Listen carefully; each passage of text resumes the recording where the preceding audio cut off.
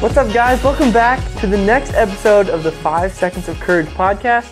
We're so excited for you to be listening and joining along this week. Um, we've been talking a lot about like big picture, um, kind of macro level courage, what it looks like to make courageous decisions and how they impact your life. How uh, something way far or way in the past or something way in the future will be affected by how we do or make decisions today. Um, but we're gonna kind of like be super vulnerable and just be like, hey, how are we doing day to day? The decisions Buddy and I are making like yesterday or two hours ago or um, just stuff like that and kind of break it down to a micro level, super um, relevant, super applicable, just to be like real life, day to day life. How does making a courageous decision this afternoon while I'm at lunch, how does it affect tomorrow? So we're gonna be gonna be talking about that. Um, and so I just want to start off with a question for Buddy. One, buddy, how have you been and how have you been making or not making courageous decisions in the last like three days? Well, the last three days, let's see, would be this weekend, mm-hmm. uh, and then yesterday. Yeah, so pretty much uh, me and this weekend, my best friend Clayton came down and we went to Charleston, uh, and it was a really neat time.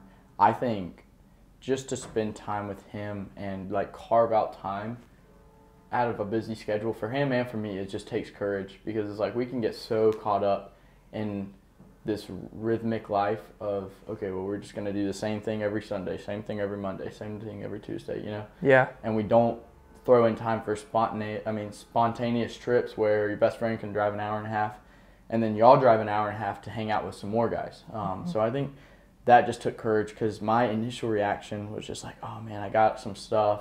He had some stuff. So it was really tough to just be like, hey, we're not going to, you know, we're mm-hmm. going to move plans around. We're going to work out, I mean, you know, work stuff out a little bit. Um, and that takes some courage because that makes us a little bit uncomfortable. Kind of moving your schedule around yeah. and saying no to stuff. Yeah. Yeah, I feel that. Um, and so I think that in and of itself is courageous. And then on an intentionality perspective of just spending time with people, mm-hmm. um, and like more than just surface level. Let's go throw a football, but it's like, hey, let's drive down to Charleston, hang out with some guys, pour into them, hang out with them. We played basketball, sand volleyball, watch match, March Madness. We didn't do much. It wasn't like we went and did this like revival type yeah. time. But it was just let's be intentional. Let's check in on them. There's some younger guys that we went to high school with. His younger brother, that a freshman in college. Let's go check on their, you know, just hang out with them. We hadn't yeah. seen them. Uh, and so I think it takes courage ultimately to be very intentional in the same way of, okay, well, now we're having to sacrifice time, take time out, you know, of our rhythmic lives. Now let's throw in another element of let's be courageous in a way of let's be intentional with that time and do more than just, you know, go hang out for a 2nd mm-hmm. But let's like have some deep conversations, check in on each other. And so I think that's one way I have me personally or I've seen, you know, people that I'm close with Clayton and different people be courageous over the last three days. Yeah. Um, and uh, how I've not been courageous, that might take a second, but if I think about it, I would love yeah. to love to think. What about you? What What do you think this last three days? I know you've been a little bit busy. You went to Myrtle Beach and you went. You had a pretty big night last night. So what do you think? These last three days have cultivated some yeah. day-to-day courageousness in your life. Yeah. Um, I well, I, I went on a trip too this weekend, went to the beach. Um, but I honestly think I have not made any courageous decisions, even in the last like couple days or even weeks. Um, I think I think the cool thing about making a courageous decision is it puts you outside your comfort zone. Definitely. And life is so much more. It's a lot more scary, but it's a lot more fun outside your comfort zone um, because you learn more. It's fun it's uncomfortable, but if you do it in community, it's just like you get so much closer with friends. Yeah. Um, and it's just a lot more fun. You laugh a lot more than when you're just like comfortable doing what you do. Like you were saying, oh, Monday, this is what I do on Mondays, this is what I do on Tuesdays. Um, and I don't think I've made any courageous decisions recently. Um, and I think I've kind of felt the the the effects of that, kind of like just being like, oh, this is just what we do, you know, just bored doing basic stuff. Yeah. Um, and I think that's something that um, kind of we talked about the challenges in previous weeks, like, hey, challenge you to make a courageous decision around this, or just kind of each topic we talk about each week, um, and kind of applying it to your own life. And I, I kind of want to start doing those too. Like, um, I know there was something on the Instagram story of like, hey, what did you do? Episode episode two's challenge or whatever. Mm-hmm. Um, and I, I kind of want to do that. Um, but the problem that I've had is I haven't been like searching for it. I think sometimes we like can fall into making a courageous decision, but like you kept saying, like being intentional. Um, I think we got to be intentional with making courageous decisions. And so if we can like talk about it on this micro level, like, hey, I want to be intentional about making a courageous decision today. Yeah. Or even like you were saying before we even started recording, like it's not like we're making big decisions every single yeah, day. Yeah, it's like I mean, you got you know, you make there's probably ten to twenty big decisions in your life. You know, yeah. who you're gonna marry, where you're gonna go to college, your job, how many you know, like those are big decisions that you have to really bring a lot of counsel in, or hopefully you do. Uh, but ultimately, what are you doing? I'm looking up how many decisions you make in a day, or how many? Yeah. A day. Yeah. Okay. Yeah. So it's like those are just those are the big ones that we've kind of been hitting on, but ultimately we were just thinking we're like, now let's get really down to day to day. The last mm-hmm. you I mean you just asked the question of the last three days. What's like and those were very small examples of like they're nothing big. You know, you're not making these huge courageous decisions every yeah. day, every week, every month. Like it's probably there's years between these big like when was the last time we've had to make just a life altering decision in our head? Mm-hmm. But that's also where I think we sometimes we're like, oh, these big decisions, like those are the only ones that matter. Yeah. And it's actually these day to day ones because we're almost putting, we're compartmentalizing what God can do. If we only say, oh, well, He's only going to do big, like what, that's just yeah. a term we toss around. Yeah. But it's like, oh, these decisions are the only big ones. Well, like, yeah, whoever you're going to marry one day, that's a huge decision. I'm not, you know, putting, taking weight off of that. But I'm putting more weight on the day to day one so we don't fall into this apathetic, unintentional, rhythmic life that just is kind of going through the motions. Like we have, what, two months left of school? Like, what are we going to do the last two months? Yeah. You know? Well, I looked it up. You make thirty about thirty-five thousand decisions cow, every single day? Um, so I mean, anything from like, what shoes do I wear to what am I gonna eat to Yeah, true. stuff like that. Um, and so, if at least one of those thirty-five thousand decisions each day can be a courageous one, like how cool would that be? Yeah. Right? It doesn't have to be big, but like you're saying, I even reference like or use it like in goals. Mm-hmm. If I have a big goal that I want to accomplish in my life, like a lifelong goal, you can't just be like, all right, that's the goal I want to attain. I'll, I'll just work my way there, I guess. You have to have like little steps. Like you can't just like climb up the mountain. You got to have like little steps to get up to the top of the Yeah, mountain. You can't just jump up there. Um, and I think the same thing is with big courageous decisions. Is you have to have little courageous decisions each and every day.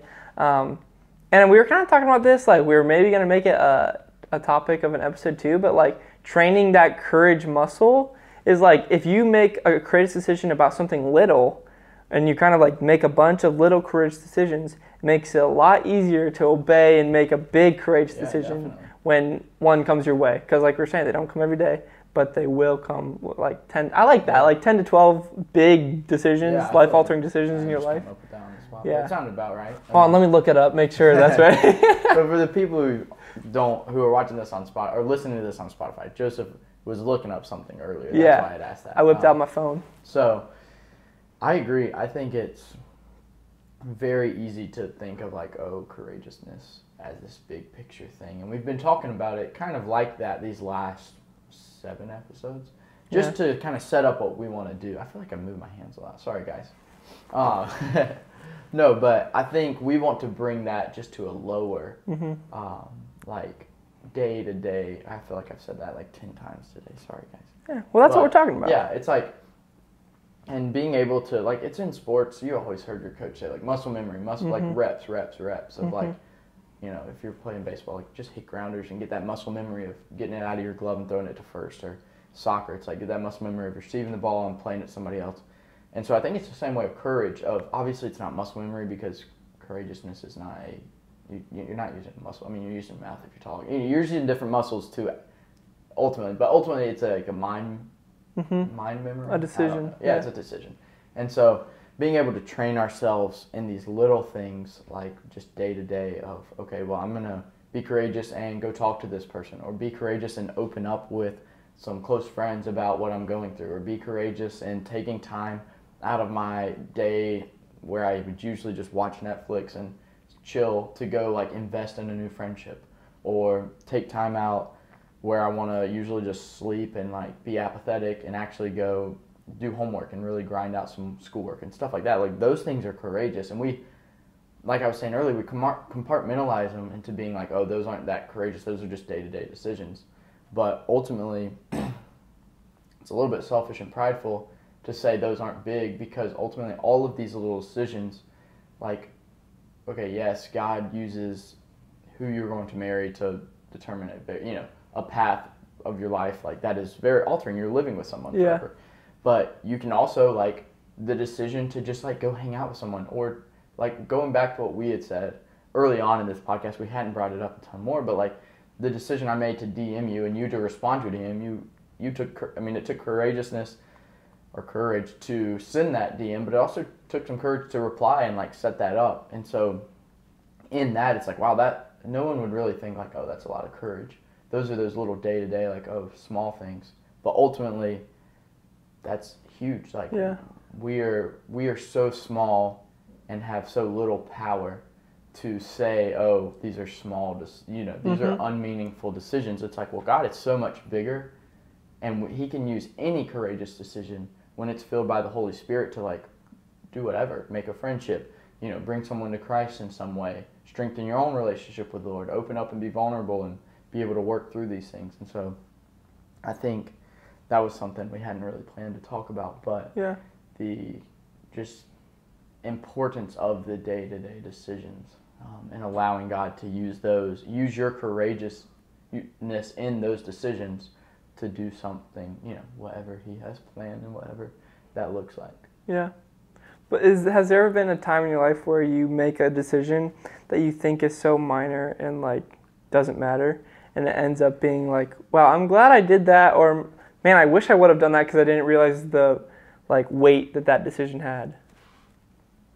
i'm trying to think um, i haven't really thought about that honestly Mhm. and i think that goes back to show that i don't in my own day-to-day life i don't put a lot of importance on small decisions Yeah. and like i just kind of autopilot those Mhm. when it's like obviously like what to wear what shoes to put on like that's kind of like it's not you're not putting you know Yeah. using courage in that that's just like okay well i could have put on my white shoes i could have put on my black shoes i could put on my gray shoes i put on my gray shoes today Yeah. because i had a gray shirt i thought that would look cool i don't know Style. Style. uh, but like that doesn't really matter. But going into these other decisions of just being intentional, being vulnerable, be like caring for people, that takes a lot of courage. Stepping out of your comfort zone, inconveniencing yourself or somebody else, like those little things that we think is just like that's not that much. Like those are that is taking courage yeah. because I guarantee you, at least half of the population is not doing that when they have that chance. Yeah. It's like, okay, well, you can step outside your comfort zone and go love somebody.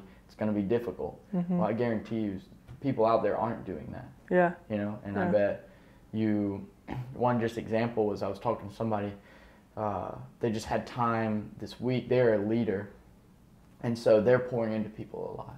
Uh, and so this week they had the opportunity to get poured into, uh, and they easily could have shied away and done the easy thing of just like I'm not really going to open up. I've been going through some stuff that's just been tough, emotional, difficult, uh, but I can just you know kind of stay away from that, suppress that. But ultimately, they took the courage to be like, you know what, I'm going to talk about this. I'm going to bring this to light. I'm going to put my emotions out there, and uh, they said it was very helpful, and it was tough. It's, it's a lot of the day to day things are tough to do, like stepping out of our comfort zone. Like that's never easy. No one really wants to do that. No one wants to open up and be vulnerable and talk about a ton of emotions and stuff. But through that adversity and that like not feeling great for a little bit, probably comes a lot of fruit that Yeah. we don't see and that we don't allow God to do because we take those small things as like, oh, this is there's not much in this. There's not much weight. There's not much depth in this when ultimately I think there is, and that didn't really answer your question. Um, No, but but I think it like reminded your question reminded me to go into these smaller day to day decisions of like, oh, I'm having a conversation with a guy. Um, I mean, someone texts me wanting to hang out, and I really just I don't have time to. But being intentional, following up, going out of my way to figure out time to hang out with him, so hopefully, you know, he gets more involved with our life group stuff like that. It's like those are the ways. Like you, I guess that was a question you asked earlier. When I was I not courageous? When did I not make a decision? And I think that was it. I just stayed in my comfort zone. It's a lot easier to just say, hey, I have stuff planned. Sorry, I can't. You know, I can't grab lunch these two days. Yeah. But it's like ultimately, I can probably move things around. I can figure it out. Yeah. So I guess if that answers your question. Yeah, it, it kind of does. Um, and I, even as I was asking it, like I was like, the only reason I can ask that question is in the like previous tense. Like, what things or what small decisions in the past did you make or not make that you were like, wow, they actually had a lot of weight Mhm. in the future? Um, because the reality is, we don't know what small decisions that I make today have a lot of weight for the future. Now, some do, like, oh, where I go to school. Like, we shared, like, kind of like choosing what college we wanted to go to. Um, and like you know that or like who you're gonna marry or where you're gonna like where you work or a certain job offer that you take or um, whether you retire now or retire in two years um, like all that stuff you don't those are you kind of know they're bigger decisions. But the day-to-day stuff we can't know that a small decision i make today doesn't impact me 20 30 years down the line. Um, and so that's why we got to be intentional with making courageous decisions is like we even with the small ones like they could have an impact later in life um, which is cool. But it's also kind of like feels like a little bit of pressure. Like oh, dang it like i don't want my small decisions to make an impact. Yeah. but that's one thing you realize as you get older. You think you're in high school like oh the decisions i make today aren't going to affect me. But you got to learn in high school like if you make a dumb decision Yeah. you'll kind of feel the consequences of that. Same thing in college. Well maybe some people don't know that I was. Uh, it just reminded me there was a sermon on uh, parenting, which doesn't really apply to me now, but it was really good going into the future. Hopefully, one day I'll, you know. I well that's it'll apply to me i have like four kids right now Uh, but it was just talking about. I mean, when you think about it, there's probably when you're when you have a child, Mm-hmm. uh, not you. I mean, yeah, you personally, but people out there and just in general. yeah probably some Uh, people listening Yeah. So there's a lot of times when they are a very young baby where they're not like picking up on stuff. Like you're not having a dialogue, but a lot of the small things that you do have a very big impact on their, you know, growth as a person. And you're not thinking that because they don't have a lot of, you know, they're not really Yeah. receptive to what's going on. But it's like I don't, and I don't know all the ways. I'm no parent, and I don't, I'm not, you know, experienced or knowledged in that. But I just remember him saying a lot of the small things that you do as a young parent to a newborn early have a lot of like psychological, maybe emotional, like different impacts. And that's the same way when you pull it out of just the picture of a young parent to a newborn child. But it's like these little small decisions have a lot more weight than what we think. Um, and so it's really cool to take these day to day decisions and not blow them up into anything huge because when you do that, then that brings that pressure. You know, you know they're day to day. If you mess up, that's okay, but allow it, allow uh, allow yourself to know that there is weight, and in that, I think taking it more serious and being more intentional about those decisions. I think I have an example. Let's hear it. I would love to. Okay, so I have this friend, his name is David, and he was just kind of living kind of crazy in high school. And we were friends, or like we had the same cl- uh, class in middle school where we sat together like the whole year, or sat next to each other the whole year, just like random seating, how the teachers do it. Um, and I was kind of lost contact with him and going into high school we kind of went our separate ways not intentionally just like Yeah, how it it works happens. out um, and i just saw him with it. i went to the gym one night and he was there too and i walked up to him and was like hey david uh, like how's it going like i haven't seen you in a while and so we started talking and um, one thing led to another and just for me going to the gym that day seeing david there being like hey you want to hang out um, we started hanging out and then I kind of like learned more of his story and learned more of like what he was going through in that time. Um, and then I was like, hey, can I can I pick you up? Um, so I picked him up from his house. We started giving rides to each other, going to the gym. Um, and then David started hanging out with like the friends I was hanging out with. Yeah. He kind of became a part of the friend group, and now like David is one of my best friends in the whole wide world just from like going to the gym one night. You know what I mean? Like little decisions. Like if I wouldn't have gone to the gym that night, probably wouldn't have seen him. Yeah. Probably wouldn't have talked to him. And so it's like, not that that's a courageous courageous decision, but tying that into making a courageous decision Yeah. like little decisions even if they're like a little bit scary but you're like oh it won't matter like that's such a small decision why do i have to be courageous in that it's not going to matter it might Yeah. you know you I never mean, know To wrap this all up, it's like when you go into those small decisions that you do not think matter, some of them won't Mm-hmm. matter in the grand scheme of things. They will be, you know, it's like, okay, we'll go into the gym that night. You might have just been in your own lane. You never saw anyone. And, like, that's not the end of the world. Maybe a couple times later you go to the gym. You probably Mm-hmm. went to the gym before that. Maybe he was there or something and you didn't talk. But it's going into each, to wrap this all up, going into each day to day decision opening up the uh, like time so opening up the decision to allow god to use it in whatever way. And just mm-hmm. know that okay this might not have a lot of weight to it. This could be just a day-to-day decision of i'm going to hang out with some guys on the horseshoe. But mm-hmm. ultimately knowing the weight of it well okay god could really use this small decision to do some really cool things down the road. And i mm-hmm. think you just shared a great example with that. Yeah that's cool. Awesome. Well guys if you um, if you haven't listened to previous episodes go ahead and check them out um, sometimes we do build off them or reference them um, even though they are pretty independent episodes too. So go back check those out. If you haven't already check out our website um, five seconds of courage.com check out some of our stuff there. Um, and guys we'll see you next week